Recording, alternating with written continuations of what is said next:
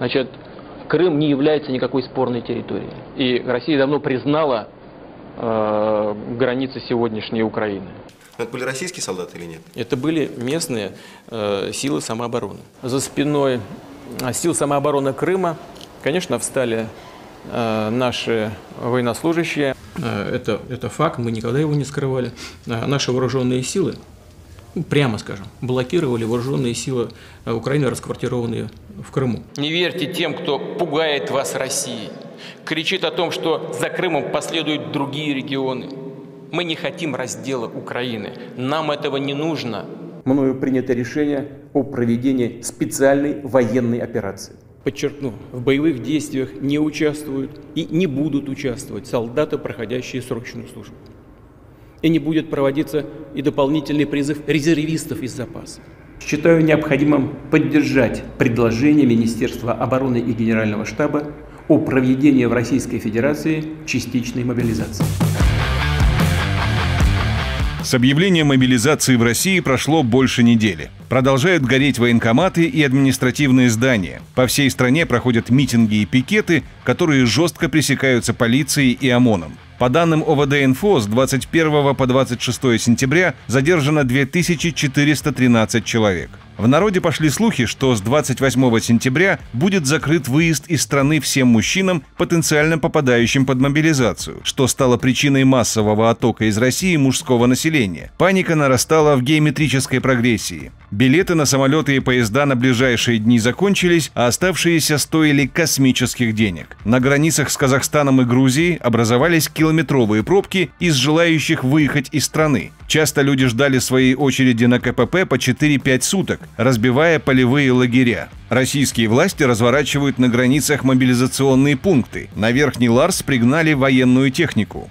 Тем временем, вечером 26 сентября в экономической зоне Дании в Балтийском море взорваны несколько нитей обоих северных потоков, в результате чего их функциональность была прекращена окончательно и, по словам экспертов, восстановлению не подлежит. Днем ранее власти Польши открыли газопровод Baltic Pipe, который обеспечит несколько европейских стран газом из Норвегии до 10 миллиардов кубометров в год.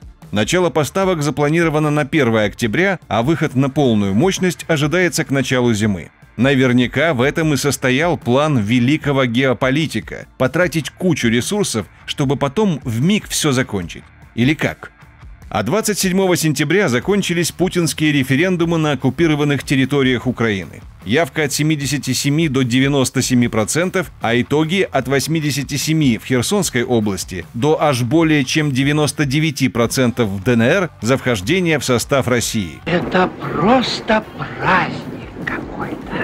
Результаты референдумов не признали даже союзники. Например, Турция, Сербия, Казахстан. Напряжение нарастает, и мало кто понимает, чего ждать от возникшего кризиса дальше.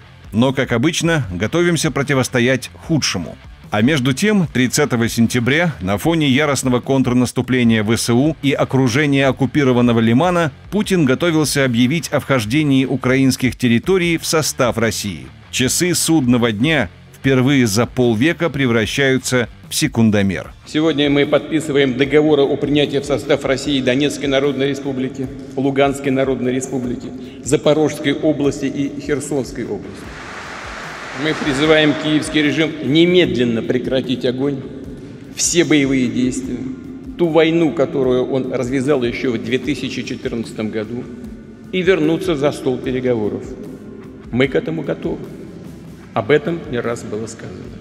Мы будем защищать нашу землю всеми имеющимися у нас силами и средствами. И сделаем все, чтобы обеспечить безопасную жизнь наших людей. В этом великая освободительная миссия нашего народа. Правду утопили в океане мифов, иллюзий и фейков, используя запредельно агрессивную пропаганду. Врут на полую, как Геббельс. Чем невероятнее ложь, тем быстрее в него поверят. Вот так и действует по этому принципу. А тех, кто начинает задавать справедливые вопросы, а, собственно говоря, почему? Почему так? Немедленно объявляют врагами, экстремистами и радикалами. В Нагорной проповеди Иисус Христос, обличая лжепророков, говорит, по плодам их узнаете их. И эти ядовитые плоды уже очевидны людям. Поле битвы, на которое нас позвала судьба и история, Это поле битвы за наш народ, за большую историческую Россию. За большую историческую Россию, за будущие поколения, за наших детей, внуков и правнуков. Мы должны защитить их от порабощения, от чудовищных экспериментов, которые направлены на то, чтобы искалечить их сознание и душу.